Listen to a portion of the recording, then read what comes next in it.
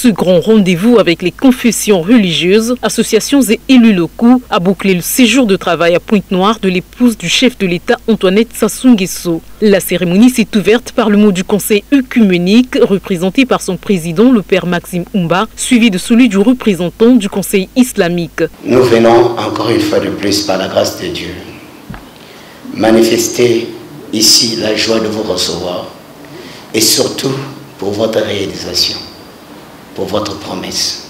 C'est dans cet esprit de grâce et de bénédiction que vous êtes parmi nous dans les deux départements, le département de Pointe-Noire et du Quilou, et que pendant les campagnes présidentielles, vous n'avez pas manqué un seul instant de nous rassurer que prier pour la paix, prier pour que tout se passe dans les bonnes conditions, notamment les votes et les élections.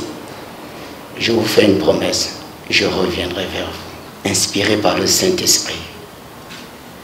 Dans l'esprit que vous êtes vous-même comme une maman, votre cœur et votre âme. Et voilà, en ce moment, vous êtes là. Effectivement, pour cette promesse. Et aussi pour la réalisation de cette promesse. Nous voulons, au nom de toutes les confessions religieuses, acclamer votre présence. Acclamons-la.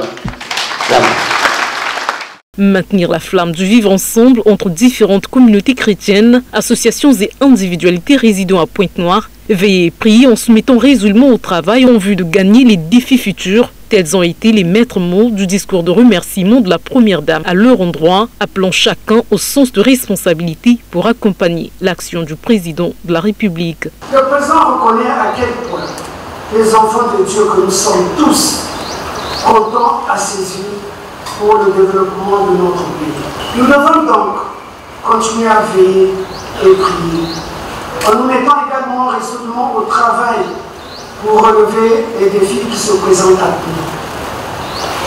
Il a dit euh, que dans ce combat, pour un pays fortifié, pour un Congo rénové et réinventé, on ne fera rien seul et compte sur l'apport de chacune et de chacun d'entre nous. Antoinette Sassou mit ainsi fin à cette première série de rencontres citoyennes avec une note de satisfaction pour le bon déroulement de son séjour à Pointe-Noire où elle a promis de revenir de temps à autre pour rester à l'écoute des populations.